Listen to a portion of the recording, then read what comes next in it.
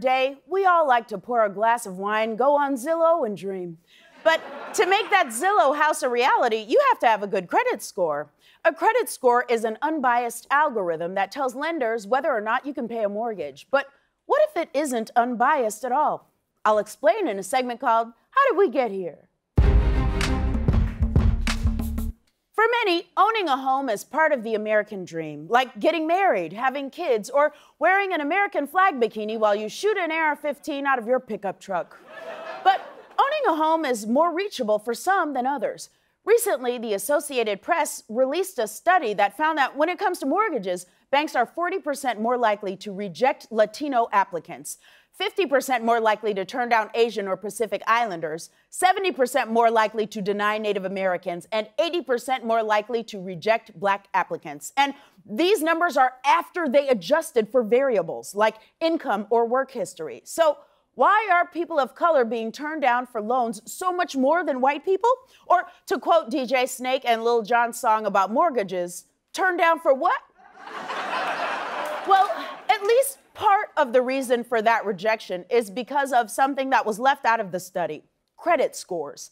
A credit score is a number that's supposed to tell a lender how likely you are to pay your bills on time. It's one of the most crucial numbers in your life right after that number you got at the bar last night, you dirty little dog.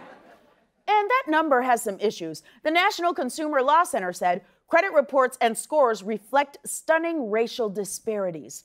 So did the National Fair Housing Alliance and the Federal Reserve and the Brookings Institution and Harvard. The only other thing this many people agree on is that Nutella is delicious. Great job, Nutella, no notes. Basically, in America, you can get credit for being white. Now, I know what you're thinking. How can credit scores be racist if they just reflect your financial history? Well, it's not that simple. Take rent, for example. Not the musical, but that's only because I would need way more time to talk about the musical. Uh, uh, Mark and Roger thought they were gonna get a free apartment forever, and they're gonna walk all over their black landlord to do it? I don't think so. According to the experts, People who pay their rent on time are likely to pay their mortgage on time. In fact, a person with a low credit score who pays their rent is more likely to pay their mortgage on time than someone with a high credit score who doesn't. But here's the thing common versions of the credit score don't use rent payments in their scores, which is insane. It's like predicting who is going to win the bachelorette and not taking into account the first impression rose. Are you kidding me? That's the most important way to predict. But leaving rent payments out of the formula isn't just stupid, it's racist. Because while rent payments don't count toward your credit score, mortgage payments do. And guess who's more likely to have mortgages? White people. To be polite, I'll just call them Macklemore fans. yes, a 2020 study found that 44% of black families own their home, compared to 73.7% of Macklemore fans. So let's review. You need a mortgage to get credit, but you can't get a mortgage unless you have credit. Basically, black people can't buy a house until they own a house. A sentence so cryptic, it should be said by a troll under a bridge. And it's not just rent. Credit scores take into account all kinds of questionable stuff. Some credit agencies actually consider SAT scores, a measurement that's so biased against black people, we already did a whole segment about it. They can also factor in information about whether you graduated from college or how often you change addresses or whether you enjoy drinking margaritas and watching old episodes of Living Single. Okay, I made that last one up. Or did I? Because here's the thing no one knows exactly how credit scores are determined. The formulas are considered trade secrets. You know, kind of like your mom's chili recipe. The secret is cumin and love, but mostly cumin. And your credit score doesn't just affect your ability to buy a house. Employers use credit reports to decide whether to give you a job. Car dealers use them to pick the interest rate on your vehicle. Credit scores even determine how much interest you pay on your student loans, which explains why a study found that borrowers who attend mostly white colleges get lower interest rates than borrowers who attend historically black colleges. Though, frankly, it's worth paying more to see a halfway decent halftime show.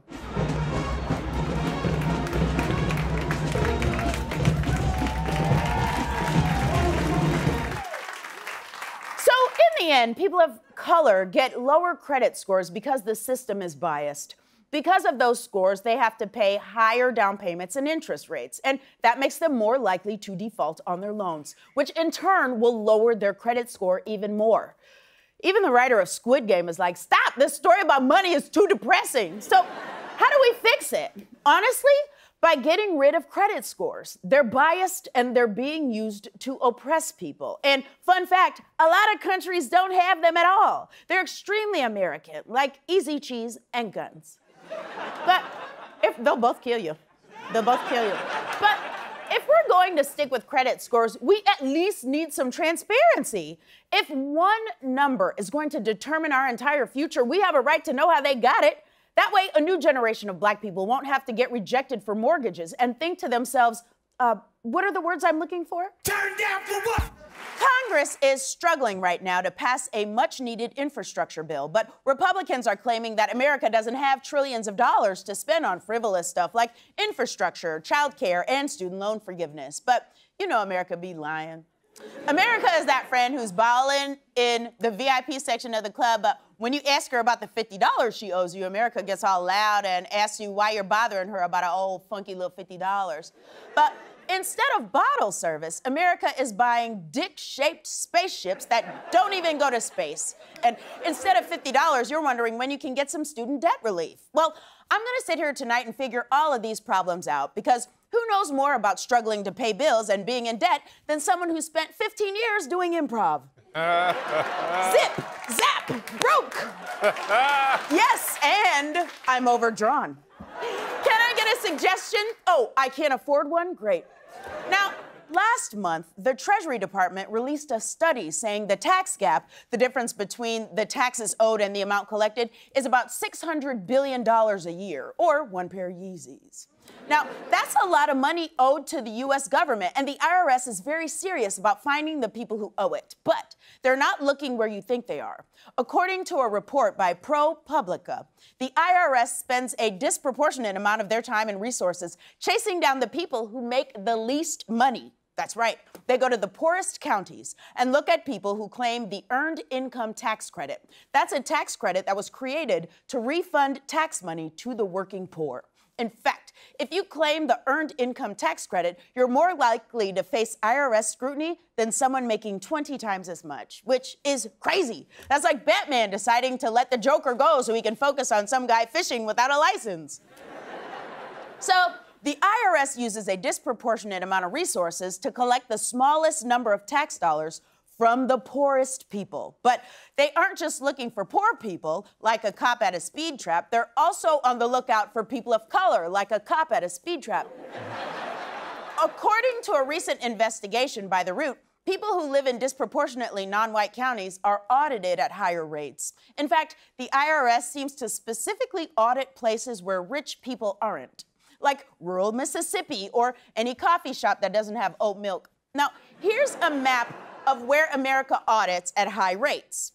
Okay, and here's the distribution of non white people in America. These two maps couldn't look more similar if they were named Mary, Kate, and Ashley. So, is poor people cheating on their taxes the reason the US government is broke? No. But also, if you think about it, no. First of all, the IRS themselves have said that when they catch people who misused the earned income tax credit, those people usually cheated by mistake because the law is so complicated, which is ridiculous. Paying taxes shouldn't be more confusing than building an IKEA dresser, because in this case, when you end up with three screws left over, you could go to jail. Second of all, the majority of the money owed to the IRS is owed by rich people who simply refuse to pay their taxes. Now, I'm not talking about tax breaks and loopholes. I'm talking about the tax equivalent of sitting down at a restaurant, ordering a steak, and when the bill comes, saying, pass. On top of that, the top 10% of income earners who cheat on their taxes or refuse to pay will cost the US about $5 trillion over the next 10 years. That's a trillion with an R. That's right. I prefer to go by the second letter. The rich owe the IRS over 20 times more than poor people do. But the Treasury Department says it's easier to audit poor people. They are literally overlooking bank robbers to catch a customer who accidentally took the teller's pen. So let's go back to where we started. I said I was going to find us enough money to pay for infrastructure, childcare, and student debt. Well, The price tag for the original infrastructure bill was estimated at $3.5 trillion over 10 years. And the Brookings Institute said forgiving $50,000 in student debt for every borrower in the whole country would cost $1 trillion. And the American Families Plan that offers child care for working families would cost an estimated $225 billion.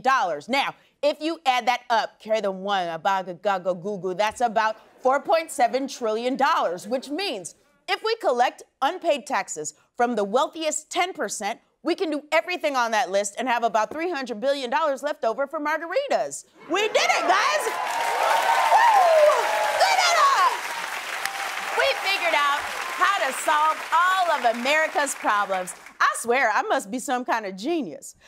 Either that or the IRS, Congress, and the Treasury Department are overlooking wealthy white people and systematically burdening poor and non white people with an unequal share of America's fiscal and financial responsibilities. No, America couldn't possibly be that racist. I'm probably just a genius, but at least we know how we got here. Tonight, we're going to talk about prison conditions. And that can be tough because a lot of people assume that prisons are filled with bad people, so we don't need to worry about them. So let me get this out of the way up top. Yes, prisons may be filled with people who have made at least one bad decision, but so are Nickelback concerts and divorce court. And yet we still treat those people like human beings. So we need to do the same for prisoners. Now, a few months ago, the U.S. Department of Justice filed a civil rights lawsuit against the state of Alabama. Now, this is interesting for two reasons. First, because I didn't know you could sue a whole state. Friggin' watch your back, Florida. And Second, because the lawsuit says Alabama's poor management is leading to homicides, rapes, and serious injuries in its prisons. Alabama has the most violent prison system in America. And having the most violent anything in America is a very big deal. It's like having the flakiest croissant in France or being the most unhinged person in a Facebook thread. Now, I know I said that I'd explain all this to you, but honestly, I am not sure that I can. Now, the good news is I don't have to. Instead, we have quotes from inmates inside the Alabama Department of Corrections. You'll hear some tonight, and they are 100% real. So let's start with the living conditions. Saying that Alabama prisons are overcrowded is like saying that Shonda Rhimes shows are slightly horny. Sure, it's true, but it's also a huge understatement.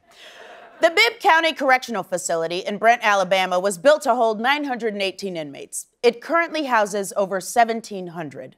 The Elmore Correctional Facility was built for 600 people and now has 960 inmates. They, there are clowns in tiny cars who hear those numbers and say, that's too crowded. now, with the overcrowding and unsanitary conditions in those prisons, it is not surprising that COVID is raging. Elmore, the facility with 960 inmates, had 191 people test positive in one day, which is horrifying. Usually, the only time you see that much alarming positivity is when you're watching The Sound of Music. really, Maria? Brown paper packages? That's your favorite? Raise your standards, girl. Maria, I need you to listen to me. If you marry him, you are going to be doing the same job you're doing right now, but for free. Don't fall for it.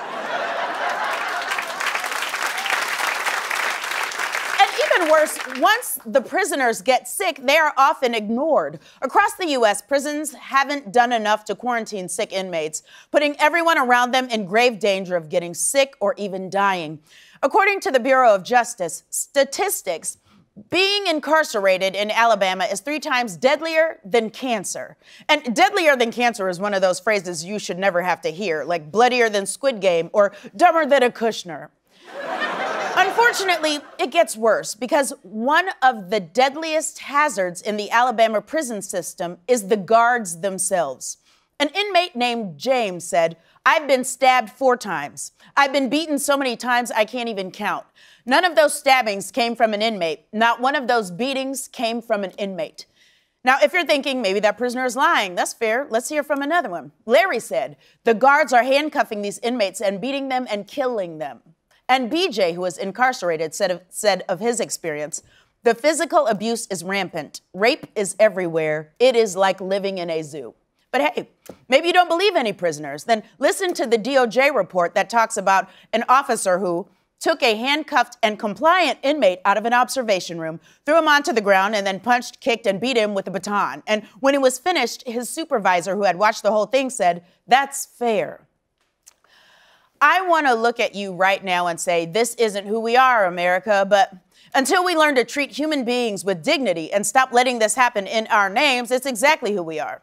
Remember when BJ said living in prison was like living in a zoo? Well, here's the difference. If this had happened in a zoo, people would be rioting in the streets to make sure it never happens again. Don't let a white person hear about a sad giraffe, they will lose their minds. Now, I know some of you might be saying, this sounds terrible, but what does it have to do with me? Well, first of all, the Alabama prison system is the worst example, but prisons all over the country have similar issues. But also, now that they're using federal money to build those prisons, you are an investor, and that means you get a say. So, how can you make a difference? Well, the good news is there are already people working on these issues. You can donate your time or money to places like the Equal Justice Initiative. And if you specifically want to help Alabama inmates, donate to the Alabama Appleseed Center for Law and Justice. But most importantly, we can't just look away because these are our cousins and our uncles and our fathers and our sons. They are us. Hell, it could be me.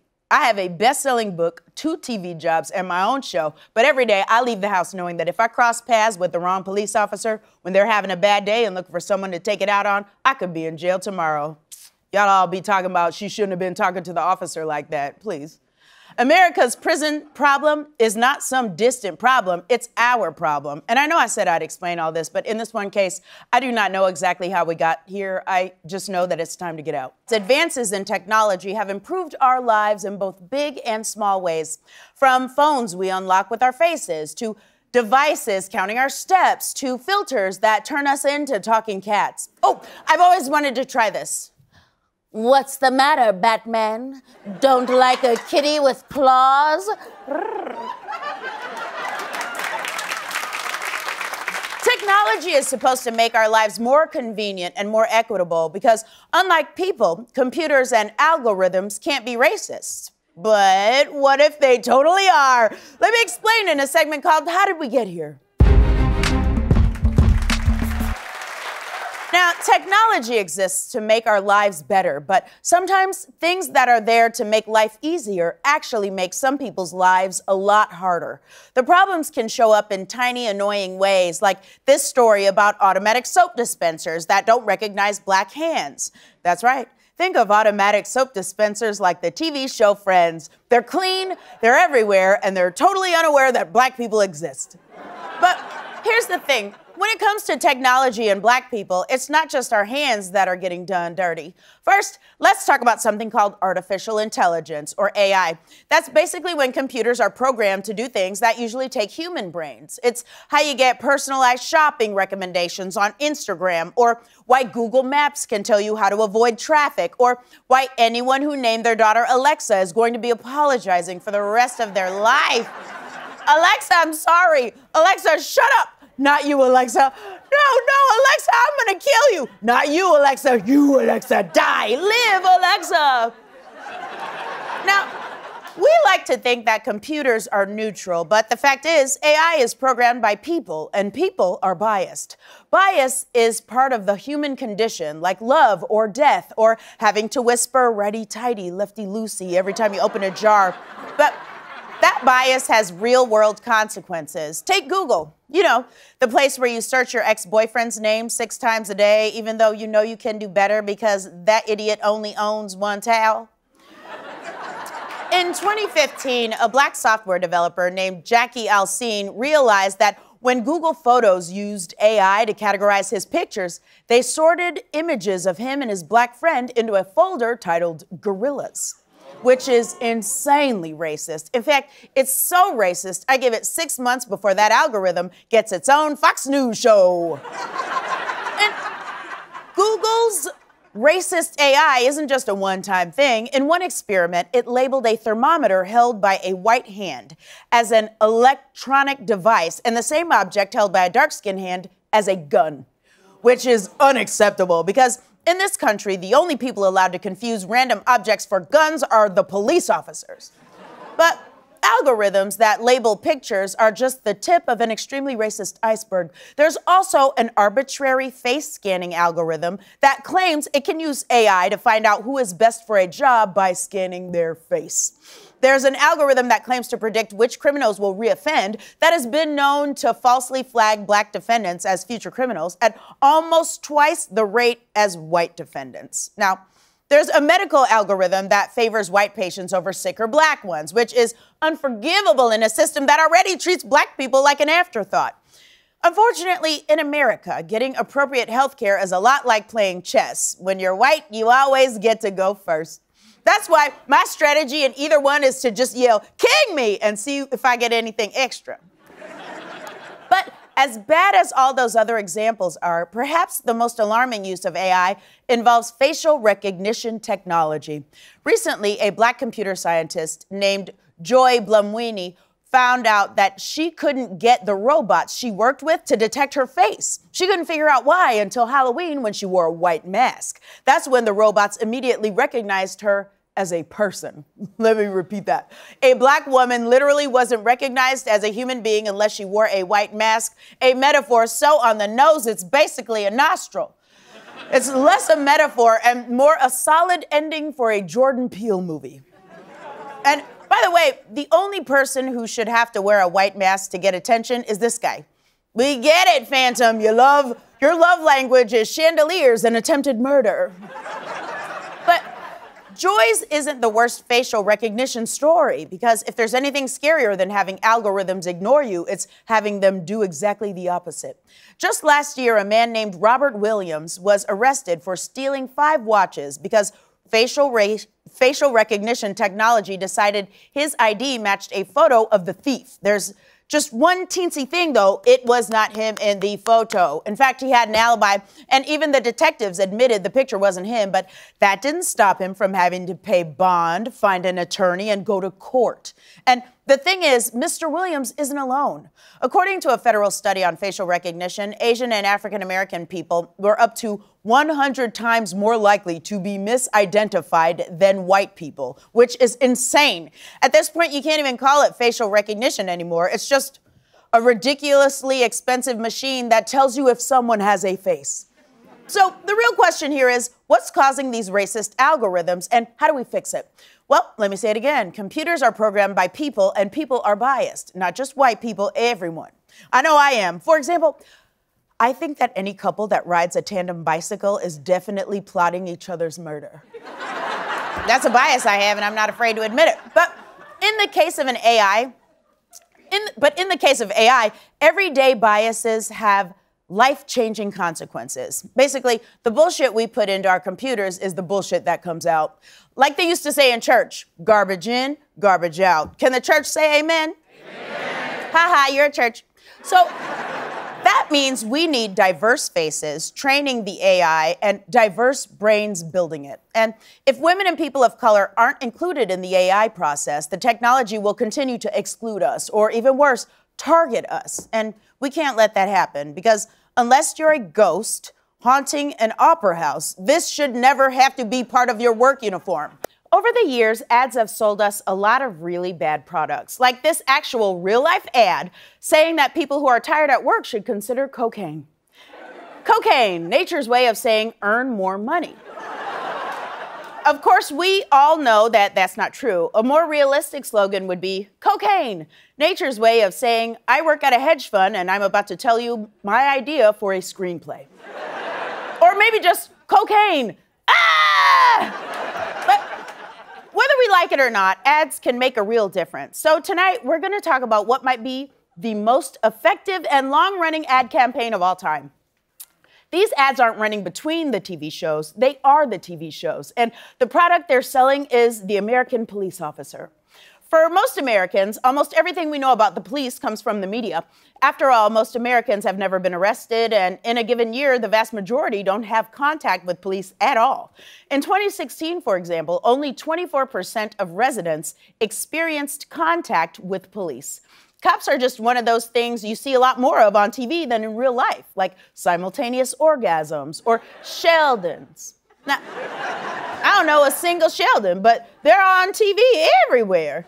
Now, for the past 60 years, there's been an organized plan to build up the reputation of the police and do it using the thing Americans love most sitting in front of the TV. It's called propaganda. And to understand where it comes from, let's go all the way back to the 1950s to a show called Dragnet. I just want to say that Dragnet would be an amazing name for a TV show about four hackers who are also drag queens. Their names would be Lotta Ram, Megahertz, Debug, and of course their leader, Antivirus. Call me NBC. Anyway, actual Dragnet show was a show about the police. And in order to make it more realistic, the creator made a deal with the LAPD to get inside information. But the police got something much better in return because they made a deal that all scripts had to be formally approved by the LAPD's Public Information Division before filming began. In other words, the police got to decide how the police were portrayed on TV, which is insanely biased. It's like having rich people with attachment issues give notes on succession. the results of this deal with the LAPD meant that during an era when 50 Los Angeles police officers brutally beat seven young men in their custody on Christmas, Dragnet instead showed a group of upstanding cops doing their darndest to solve crimes propaganda. And Americans bought it. In fact, it worked so well that the media has done it over and over since. Dragnet became the template for every cop show you have ever seen, from Law and Order to NYPD Blue, from NCIS to Sister Cops. Okay, I made that last one up, but it's a great idea, and my sister Lacey and I would be happy to co star. Call me, NBC. Propaganda has single handedly created the legend of the hero police officer. It's also perpetuated other myths that still harm us to this day, like that crime is rising constantly, or that policing is one of the most dangerous jobs, or that black people are criminals. So let's start with the first myth that crime in America is rampant. According to Gallup polls, for the past 20 years, more than half of Americans believed crime is worse than the year before. Yet, here's what the actual crime rate has been doing. That's right, crime has been decreasing consistently. The only thing falling more steadily is President Biden.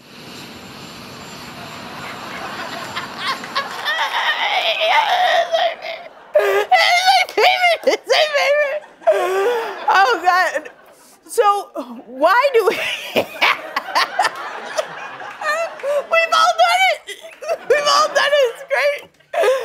Oh, so why do we think crime is getting worse? Well, according to one study, people's perceptions of the crime rate actually rise and fall along with TV violence. In other words, people think crime is bad because it's bad on TV. It's the same reason that after watching the Great British Bake Off, I think I can make a chocolate souffle because the stupid lying TV made it look true. Now, let's look at the second myth that policing is one of America's most dangerous jobs. Now, I want to be careful on this one because being a police officer is a dangerous job. And aside from almost spraining an ankle during a song parody, my job isn't very risky. So I don't want to discount the work that they do, but according to data from the Bureau of Labor Statistics, being a police officer is actually far less dangerous than other jobs, like being a garbage collector or being a delivery driver. That's right. Cops actually have fewer on the job fatalities than the guy who brings you those chicken tenders you ordered when you were drunk. And then when he arrives, reminds you that you ordered them. and it's important to get a realistic idea of the dangers of policing because one of the major reasons why we can't reform the way cops are trained is because people who watch police shows think cops get into a karate fight three times a week. And even worse, the propaganda may have convinced the police themselves that they are in constant danger, which could be why police officers killed more people running away from them over the past five years than the total number of cops shot and killed on duty. That might also be why, since 2015, police officers shot and killed three times more black people than cops were shot and killed by anybody. Being a police officer is a dangerous job, but what might even be more dangerous is being a black person who runs into one. And that brings us to our final propaganda myth that black people are criminals. How does TV normalize disproportionately killing black people? By teaching the public that they deserve it. For example, in real life, black people are 35% of gang members, but in TV and film, we play 64% of all gang members. And when a character is listed as a thug, it's played by a black actor 66% of the time. Now think about that. If every time you see a criminal on TV, it's a black person, you're going to start to think there's a correlation. In the same way that if every time I see a skincare commercial, J-Lo was in it, I'm going to start thinking it's normal to look like this at 52. It's not. She's superhuman. She shouldn't look like that. Basically, we've been fed an ad campaign that teaches us that police officers are heroes, putting themselves in grave danger to save us from a crime ridden country full of black criminals, and that's bullshit. So, if we want to make it better, we are going to have to fight against the propaganda and start working with the truth. Take it from me, Heisman Trophy winner and current Prime Minister of Iceland, Amber Ruffin. This has been How Did We Get Here?